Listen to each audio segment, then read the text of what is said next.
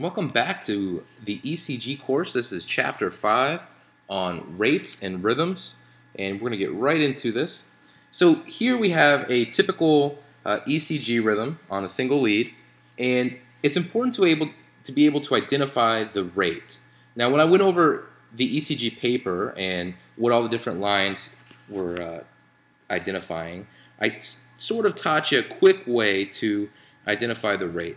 I told you that these little lines that stick up here, these are your one second markers because in each one contains five big boxes from left to right and each big box is 0.20 seconds.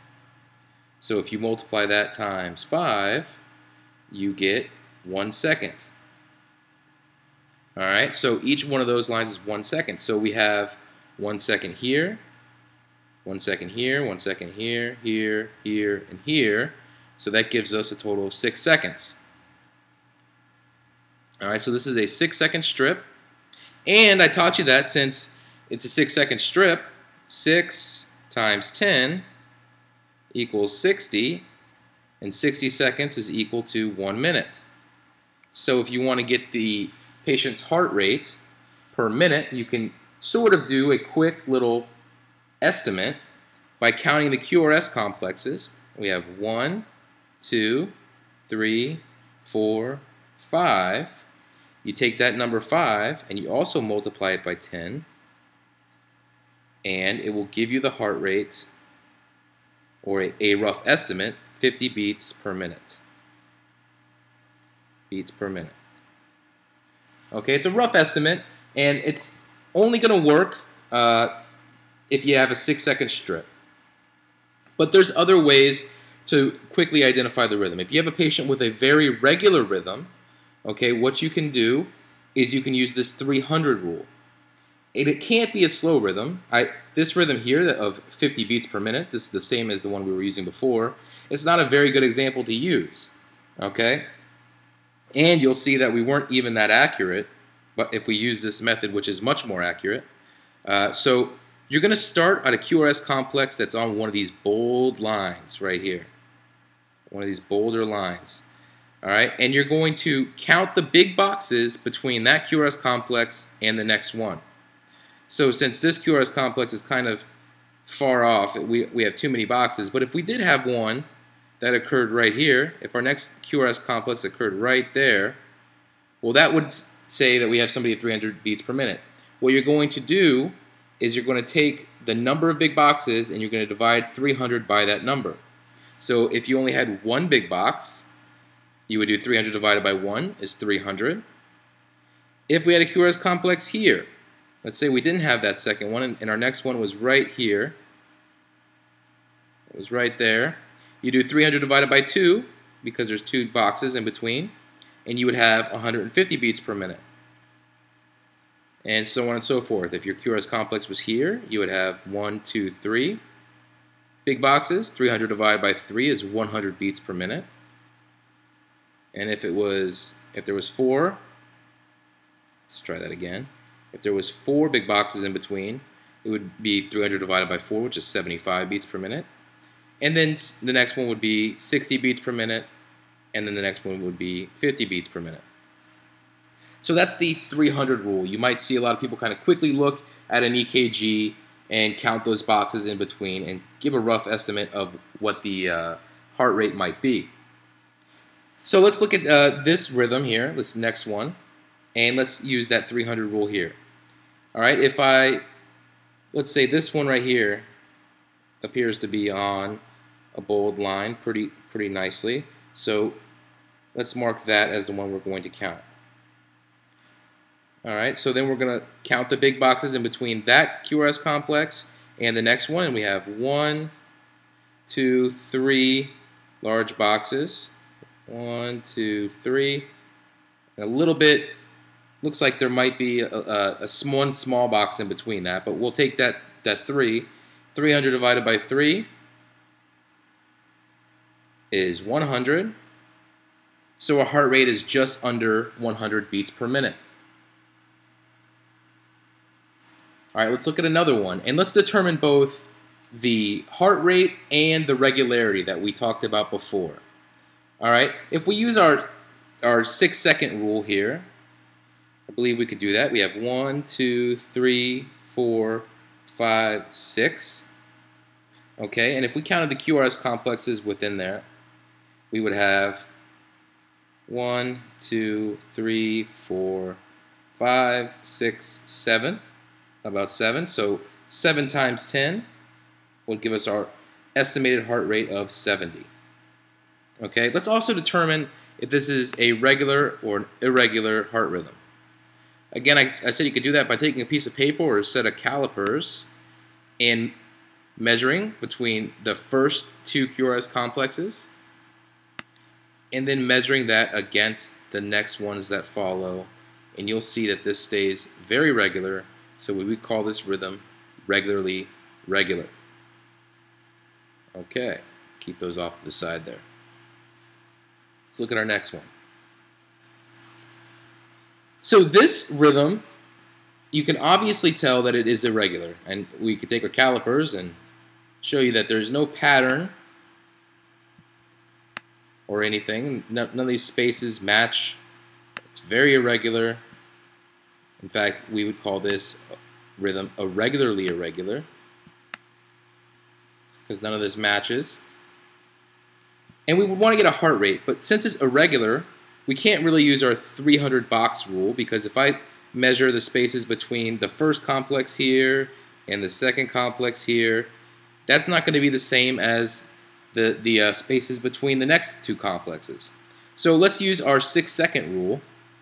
Is this a six second strip? One, two, three, four, five, six. It is. So we can count the complexes within it. We have one, two, three, four, five, six, seven, eight, nine, ten, eleven, twelve, thirteen, fourteen, fifteen, sixteen, seventeen, and 18. We have 18 complexes. So we would take that number 18, multiply that by 10, and you would get 180 beats per minute. That's pretty fast. And you could tell that this patient is having a fast, irregularly irregular heart rhythm. It may actually require treatment. So here, this rhythm, also irregular. So we would use that six second method again. This is a six second strip, so let's just count the complexes. We have one, two, three, four, five, six. So that has a 60 beats per minute heart rate. And again, we said it was irregular. And just to show you again, I believe we've already done this one in the uh, past lecture, but you can see that there's no pattern. This is a very irregularly irregular rhythm. All right, the next one here, let's first see if it's regular. So we're going to measure up those two QRS complexes first and compare them to the next. Looks the same, looks the same, also looks the same, and so on and so forth. All right, very, very regular. Actually, might might have had a slight irregularity there. So double checking doesn't hurt. Very regular, and then we have a slight irregularity there. So we would call this rhythm irregular. All right, and then we would go ahead and now count out our heart rate. Again, it's a six second strip. So let's go one, two, three, four, five, six, seven, eight beats. So 8 times 10 is a heart rate of 80. Okay, let's look at the next one.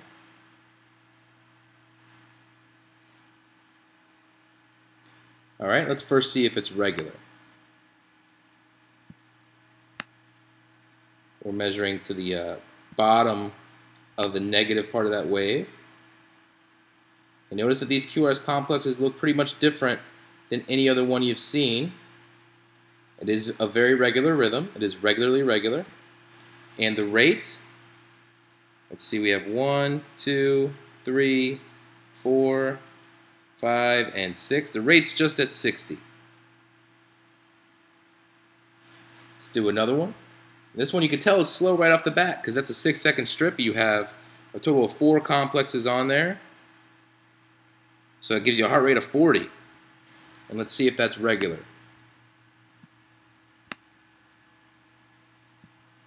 Looks looks like it is from the uh, long distance view, but never hurts to measure. Yep, pretty regular.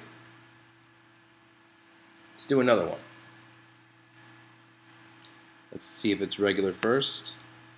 This one you can also obviously see has a heart rate of 40, about 4 beats on this uh, 6 second strip.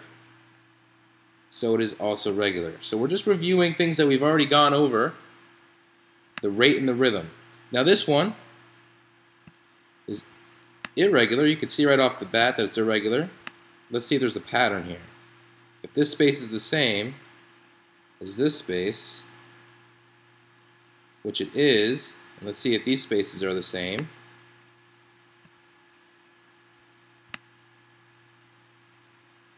They are. So that's a pattern. We'd call that regularly irregular. Okay?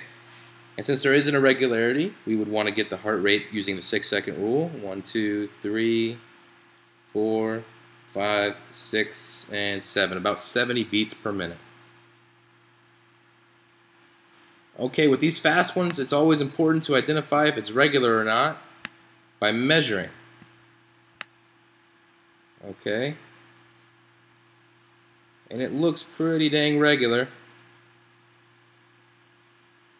Yeah, if you measure that all the way throughout, you would see it's pretty regular. And we don't have to count all of those in that six seconds. Since it's pretty regular, we can do that 300 box method. And we could just say that this one's on a bold line here. So let's count from that one. Wait, get that out of there.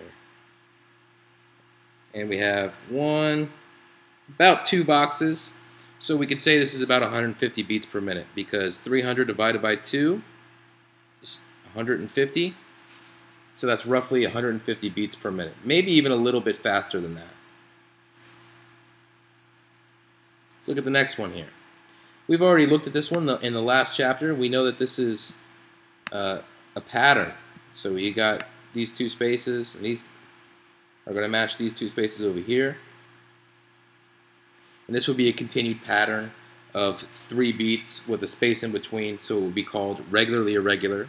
And you can see there's six complexes there, and that's going to have a heart rate of 60. So this one being very, very slow, it's only got two beats. We can it's a rough estimate of about 20 beats per minute. This patient's going to be very, very ill. Uh, we can't even determine regularity because we only have two complexes there, so we don't know.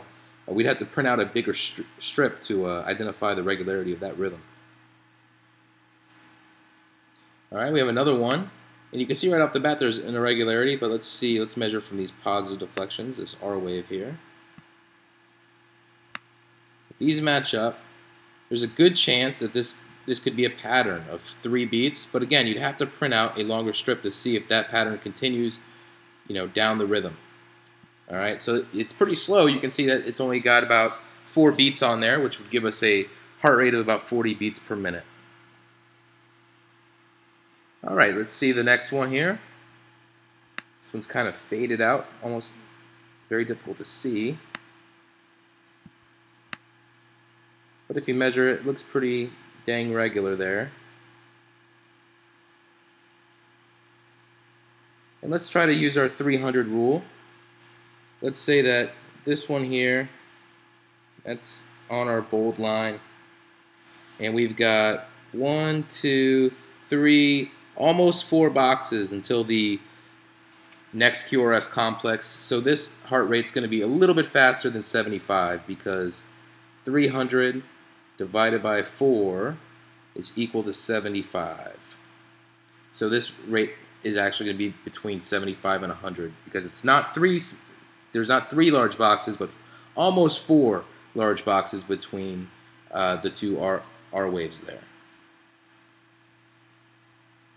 Let's take a look at another one. Now this one's kind of confusing because you actually have two sets of QRS complexes, and this is going to be a rhythm that we haven't talked about yet. All right, and let's just measure these, and we'll see that this rhythm is regular,